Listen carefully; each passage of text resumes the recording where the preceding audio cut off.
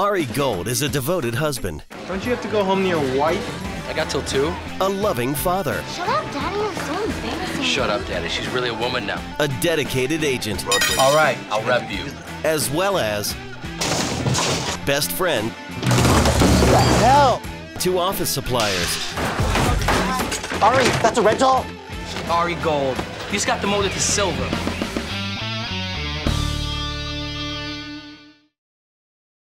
Okay, you probably don't know me. You will. So what does the middle A stand for, Ari?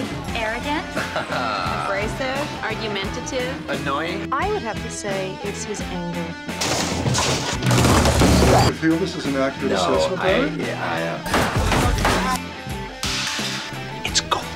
Entourage, weeknights at 11 on WGN.